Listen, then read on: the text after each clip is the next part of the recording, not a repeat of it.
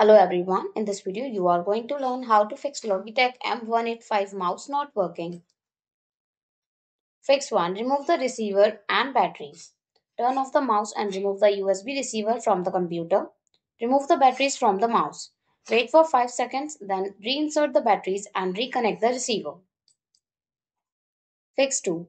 Uninstall and reinstall mouse driver. Open Device Manager on your computer. Locate the mice and other pointing devices section. Right click on the HID compliant mouse, Logitech mouse and select uninstall device. Restart your computer and Windows will automatically reinstall the drive.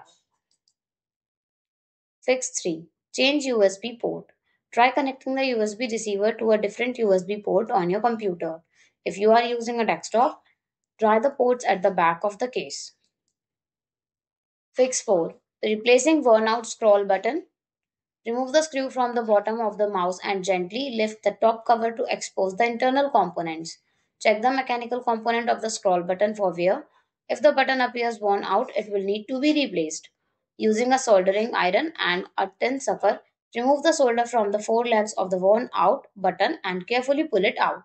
Find a similar replacement button, ensure the size matches the original button. Insert the new button into place and solder the four legs onto the board. Reattach the battery terminals, secure the circuit board, and ensure the on or off switch is aligned properly. Reassemble the mouse by reversing the disassembly steps. Power on the mouse and test the middle button to ensure it functions correctly. Fix 5. Reflow solder joints. Disassemble the mouse by removing the screws and carefully separating the housing to access the circuit board. Use heat resistant tape to cover any plastic or sensitive parts on the circuit board to protect them from the heat. Use a hot air gun set at 300 degrees Celsius or above to heat the solder joints around the chip without overheating the entire board. This will help reflow the solder and potentially fix any hairline cracks. Once cooled, reassemble the mouse by reattaching the circuit board and screws. Turn on the mouse and check if it is working. This method can often fix issues caused by loose or cracked solder joints.